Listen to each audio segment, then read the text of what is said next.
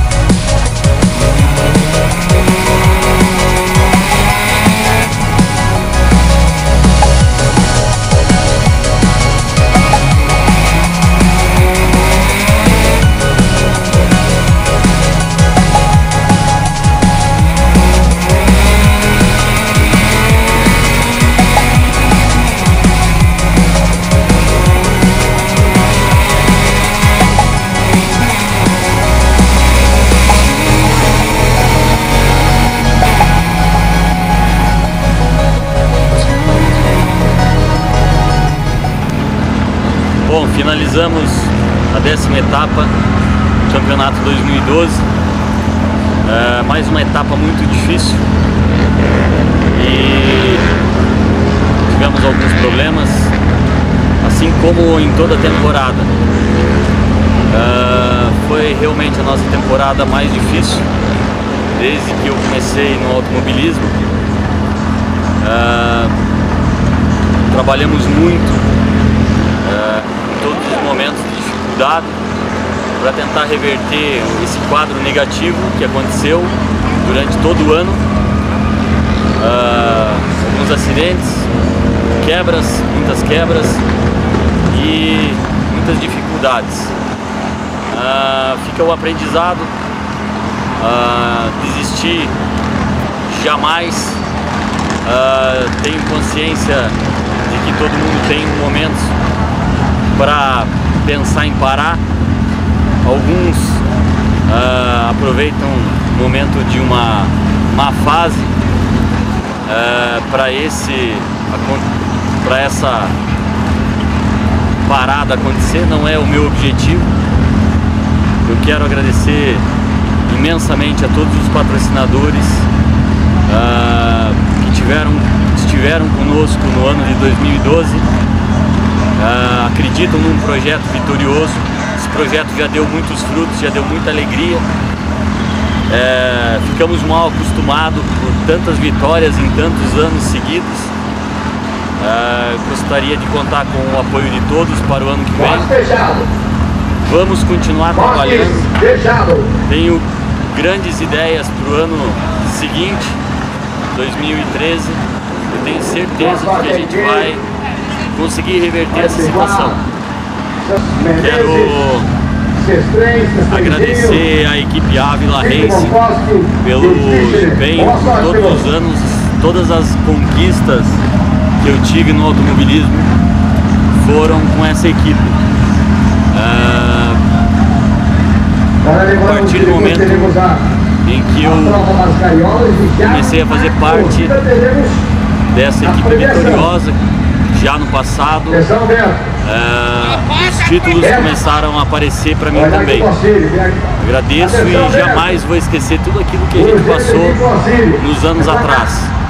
É, foram três títulos de campeão paranaense, foram três títulos de campeonato brasileiro, foram dois títulos de Copa do Brasil, fomos tricampeões das 100 milhas em São José dos Pinhais.